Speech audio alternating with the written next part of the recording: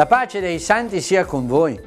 Sabato 13 giugno 2015, dopo la solennità del Sacratissimo Cuore di Gesù, la Chiesa celebra la memoria del Cuore Immacolato di Maria.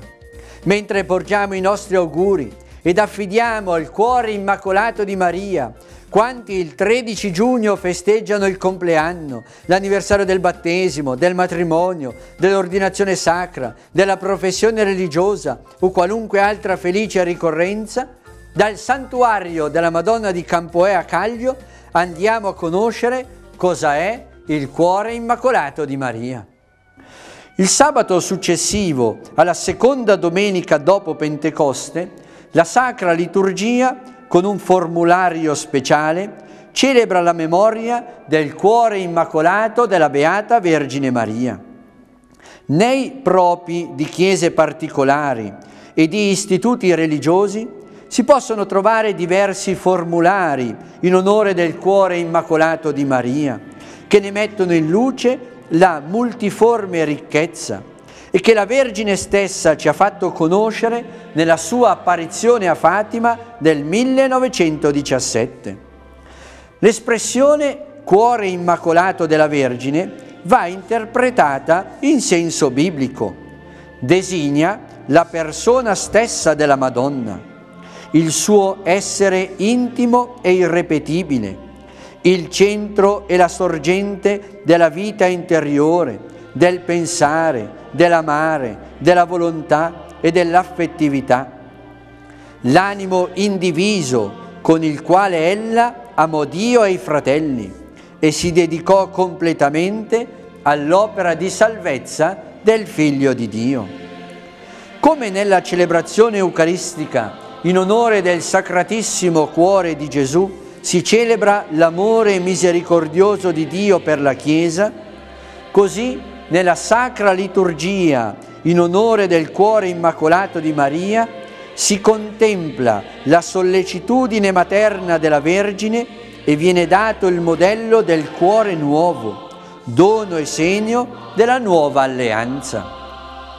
Il cuore della Vergine che piena di fede e di amore accolse il Verbo di Dio, è chiamato anzitutto dimora del Verbo, nonché Tempio dello Spirito Santo, proprio per la continua presenza in esso dello Spirito Paraclito.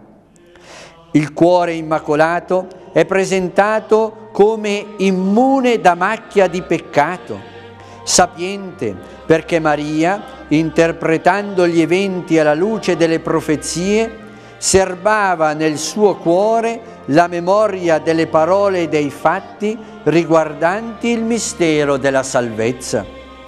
Docile, perché Maria ha aderito generosamente ai comandi del Signore. Nuovo, secondo la profezia di Sant'Ezechiele, rivestito della novità della grazia ottenuta da Cristo. Cuore mite, in conformità al sacratissimo cuore di Gesù Cristo, che dice, imparate da me che sono mite ed umile di cuore. Cuore semplice, cioè alieno da ogni doppiezza e tutto ricolmo dello Spirito Santo di verità. Puro, ossia, secondo la beatitudine proclamata dal Signore Gesù, capace di vedere Dio. Beati i puri di cuore, perché vedranno Dio.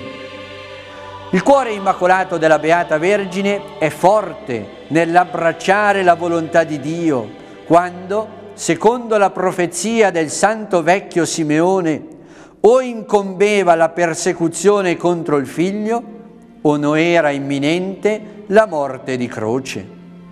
Infine, il cuore immacolato della Beata Vergine è detto vigilante, perché mentre Cristo dormiva nel Santo Sepolcro, il cuore di Maria, come il cuore della sposa del Cantico dei Cantici, vegliava in attesa della manifestazione della potenza di Dio che non avrebbe certo lasciato il suo unigenito figlio nella morsa della morte. Al cuore immacolato di Maria, come ci ha chiesto lei stesso a Fatima, affidiamo la Chiesa, il Papa, i Vescovi, i sacerdoti, i diaconi e tutte le nazioni della terra, perché imparino ad amare Dio e i fratelli con tutto il cuore.